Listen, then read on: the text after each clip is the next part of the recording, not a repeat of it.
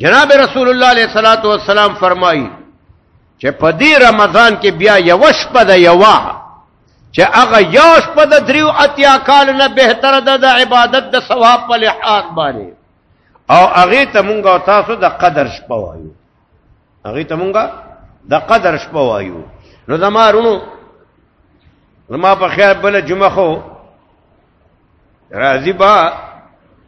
او بیا زما په خیال چې په اخیری عشره کې راځي نو بیا موقع نه ملاوي دا دی وجنه خدا چې په دې باندې خبر وشو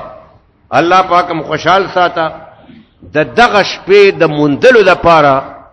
دا د اعتکاف عمل چې د الله پیغمبر کړی دی او د الله پیغمبر چې سکی د ځان نه نه کوي د دین په معامله کې چې د الله پیغمبر سکی د الله په حکم باندې کوي نو دا الله حکم دی او قران پاک کې د اعتکاف ذکر باقاعده راغلی دی وانتم عاکفون فی المساجد چې کله تاسو اعتکاف کوئ په جمعاتونو کې نو بیا با د اعتکاف په دوران کې د خپل قرودان سره نه ملاويږي مضمون دغه څه دی د قران پاک ما عرضه کو چې د اعتکاف ذکر قران پاک کې باقاعده راغلي دي جناب رسول الله علیه الصلاۃ والسلام فضیلت هم بیان کړی دی دا الله پیغمبر خپل هم کړی دی اعتکاف پوره میاشم کې دی شي اعتکاف دو عشرم کې دی شي او اعتکاف یو عشرم کې دی شي یو عشر آخری چې کومه دا دا زیات تر نبی علیہ الصلوۃ والسلام د آخري عشره اعتکاف زیات کړی دی ورنه اسنور د میاشتې د دوو عشرو اعتکاف دام د حضور علیہ الصلوۃ والسلام نه ثابت دی نو دې مبارک میاشت کې یو زمارونه تراو عمل نه بعد خلق نه پوه دي تراوی د الله پیغمبر دا خبر یاد لره په خپل ژوندۍ کې تراوی نبی کریم صلی الله علیه وسلم صحابه ته صرف درې شپې کړې دي صحابه بیا په انتظار باندې چې حضور راشه مونږ تراوی وکړو جناب رسول الله صلی الله علیه وسلم صحابه ته فرمایل صحابه تاسو شوق او محبت ما ته معلوم دی او ما قتل چې تاسو انتظار کوي چې زروزم او تراوی درته وکما خدا تراوو لز ذکر او نو وتما زه د خدای پیغمبر ما کدا تراوی ما همیشه د پاره کولې بیا به دا تراوی الله پاک پتا سو باندې فرض کړی وي نو ما سره دا يروا چې په امت باندې می فرض نشي کو امت باندې فرض شو بیا یې اون کی چرتا نو بیا به ډیر زیات ګناهګار کیږي او د فرض او تارک بغرديږي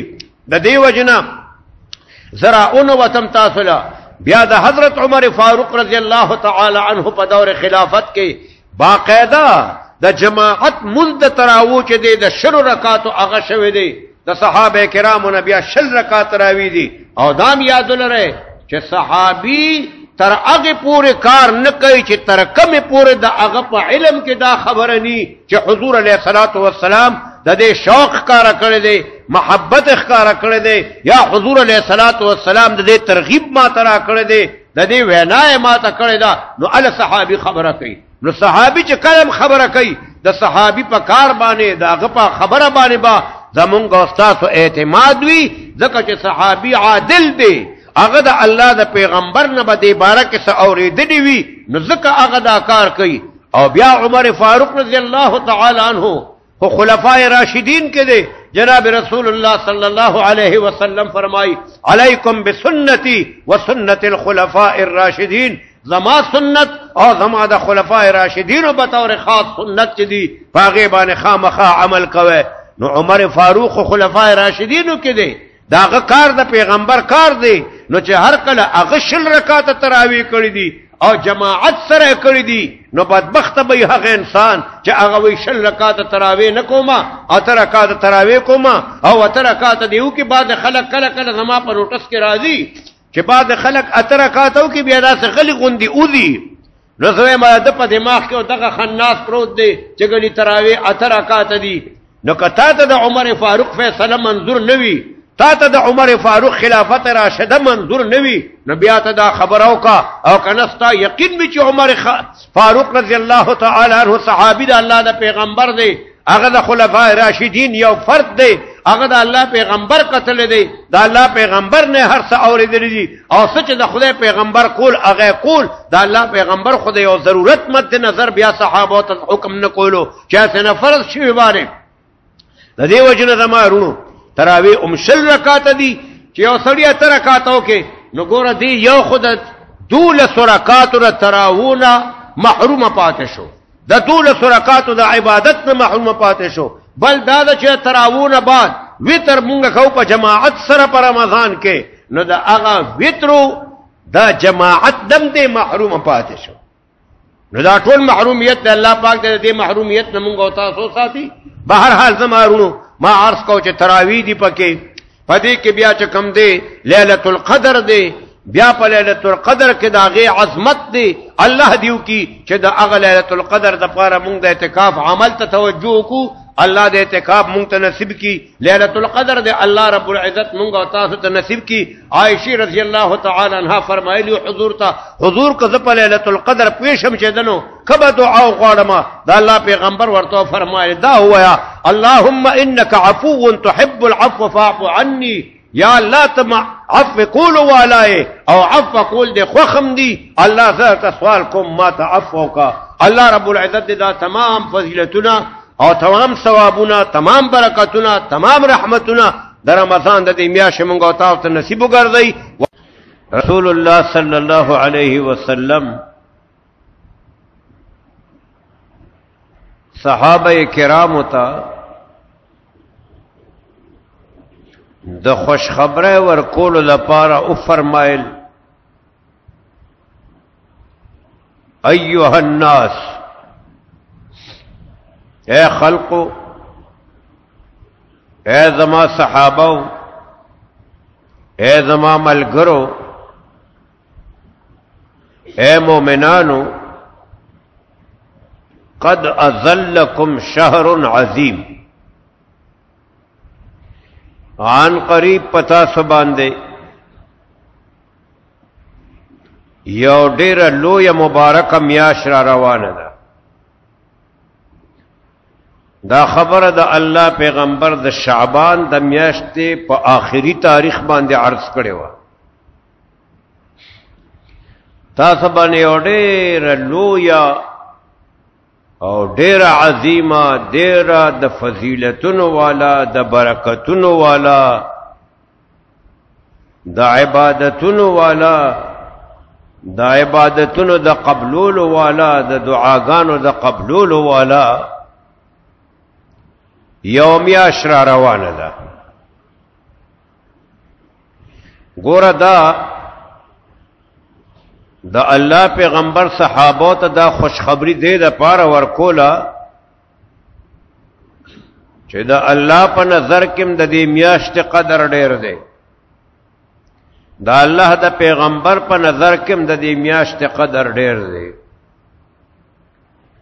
نو دا الله پیغمبر خپل صحابه او ته مؤمنانو ته د دې میاشت تیارې د پاره ترغیب ورکاو چې تاسو باندې او ډېر لوی مبارک میاشت را روانه ده تاسو د هغه میاشت د پاره تیارې وکې لکه څنګه چې چا باندې خادی را روانه خوشحالی را روانه وي د زوی یا چکم دې د نوسی د واده مقرر روانه یا د چا د خپل واده مقرر روانه دا غې د پاره تیارې شروع کړي دغه شان د الله پیغمبر صحابه ته فرمایل یو ډېر مبارک میاش را روانه ده دا غمیاشت اهمیت او دا غي عظمت او دا غي ضرورت هم صحابه ته بیان کو او صحابه کرام ته ترغیب هم ورکو چې تاسو د دې میاشتې د عبادتو لپاره خپل ځان تیار کړئ د غمیاش د الله رب العزت په عبادت کې ولګوي د غمیاش په یو کال کې یو میاش راځي لیکن دا دومره زیاته مبارکه میاشته چې په دغه یو میاش کې تاسو د الله عبادت او بندگی وکړه دا به الله رب العزت تاسو د مغفرت د پاره ذریعہ او ګرځي او دغه یو میاش تاسو د مغفرت د پاره د الله په نظر کې کافیم ده نو صحابه کرامو ته فرمایل چې اے زما ملګرو زما صحابه قد اذلکم شهر عظیم مبارک میاش در باندې را روانه ده او بیا د الله پیغمبر او فرمایل شهر فيه ليله خير من الف شهر میاش خود ټوله مبارکه او د دې میاشت عبادت د الله په نظر کې ډېر لوی د ثواب والا عبادت دی خو بیا بعض اوقات له الله پاک په بعض اوقات باندې فضیلت ورکړي لکه څنګه چې د کال دولس میاشتې دي نو میاشت خو دول دول سوال د الله دی ان عدت الشهور عند الله 12 شهرا د کال دولس میاشت دی د الله په نس باندې عبادتم پارا میاشت کې کیږي لیکن بیا په اوقاتو کې الله رب العزت فرق ساتلی دی د کال د دولس میاشتو تعداد دی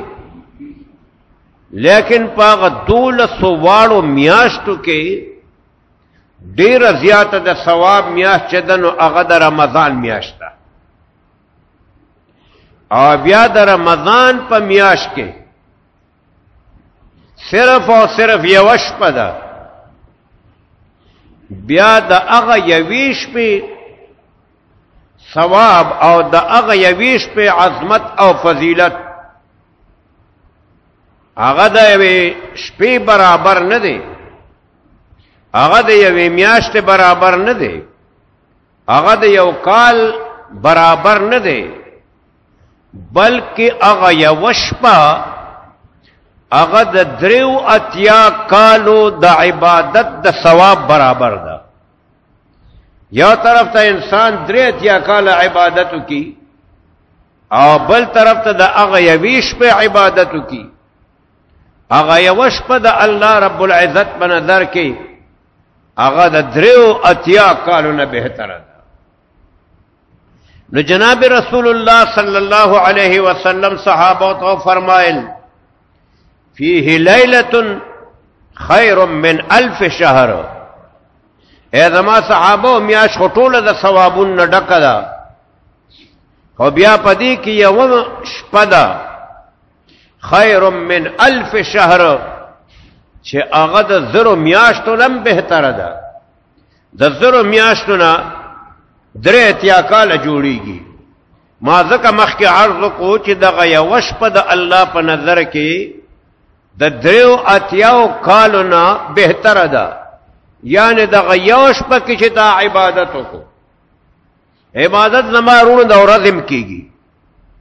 عبادت د شپېم کیږي خدا د شپې عبادت د یک سوې وی د تنهایی وی د ورځ په عبادت کې د انسان نه کمی زیاتی کیږي ریاکاری پکې راتلی شي لیکن د شپې عبادت دا سې چې دا د الله او د انسان ترمن د ځان له معاملې وی الله دې مونږ ټول د ریاکارانو ساتي